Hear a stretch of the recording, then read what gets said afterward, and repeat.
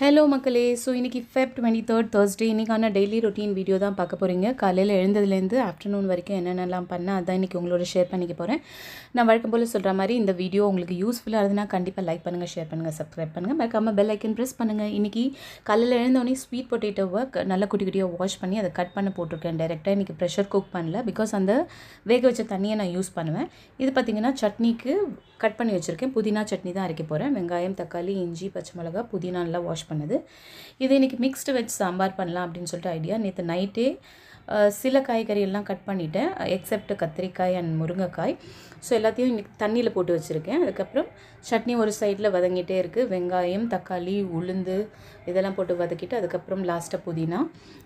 அதுதான் மின் நான் அரைக்கிற ஸ்- ஸ்டைல் மின் சட்னி. இது பார்த்திங்கன்னா இதில் எல்லா வெஜிடபிள்ஸும் இருக்குது பம்கின் கேரட் முள்ளங்கி முருங்கைக்காய் அப்புறம் கீரையோட தண்டு எல்லாம் போட்டு ஒரு நல்ல super healthy mixed vegetable sambar. அப்புறம் சாதத்துக்கு ஒயிட் ரைஸ் பொண்ணுக்கு ப்ரௌன் ரைஸ் எனக்கும் என்னோடய ஹஸ்பண்ட்க்கும் பீட்ரூட் நேற்று நைட்டே கட் பண்ணி வச்சது. அதை நான் பாயில் பண்ணிட்டு தான் பொரியல் செய்வேன். அப்போ தான் நல்லா சாஃப்டாக இருக்கும்.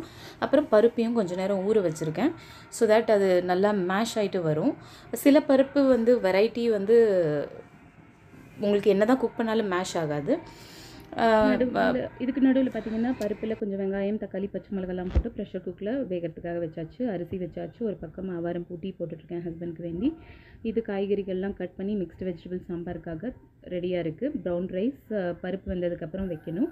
அப்புறம் காராமணிக்காய் அது இன்னொரு பொரியல் பண்ண போகிறேன் இதுக்கு நடுவில் பார்த்தீங்கன்னா பொண்ணோட பிரேக்ஃபாஸ்ட் டைம் செவன் ஆயாச்சு. ஸோ தோசை நான் ஹாட் ஹாட்டாக பேக் பண்ண மாட்டேன். அதனால் கொஞ்சம் சீ சீக்கிரமாக பண்ணி வச்சுட்டு அது கொஞ்சம் ஆறுனதுக்கப்புறம் தான் பாக்ஸில் வைப்பேன்.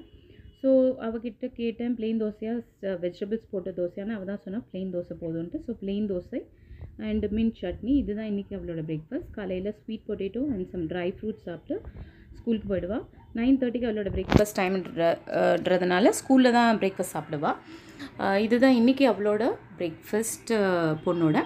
எங்களோட பிரேக்ஃபாஸ்ட் நான் இன் பிட்வீன் குக்கிங் வேலையும் பண்ணிகிட்ருக்கேன் அதனால் I have to find time to eat my breakfast so cooking பார்த்தீங்கன்னா பீட்ரூட் பொரியல். பீட்ரூட் ஏற்கனவே வேக வச்சதுனால தாளித்து தாளிச்சு கொட்டி அதில் கொஞ்சம் தேங்காய் கருவேப்பிலை அரைச்சி மேலே போட்டாச்சு. ஒரு சைடில் பார்த்தீங்கன்னா சாம்பாரும் ரெடி லாஸ்ட்டாக மாங்காய் கொஞ்சம் ரெண்டு மூணு பத்தைகள் போட்டேன். யாருக்கெல்லாம் மாங்காய் சாம்பார் பிடிக்கும் எனக்கு கமெண்ட் செக்ஷனில் மறக்காமல் சொல்லுங்கள் பால் காய்ச்சியாச்சு. இப்போ பார்த்தீங்கன்னா ஹஸ்பண்டோட பிரேக்ஃபாஸ்ட் டைம் ஹஸ்பண்டோட தோசாவில் I have added plenty of cabbage கோஸ் அப்புறம் மேத்தி ஸ்ப்ரவுட்ஸ் அதுக்கப்புறம் பார்த்திங்கன்னா வெங்காயம் கொஞ்சம் கொத்தமல்லி.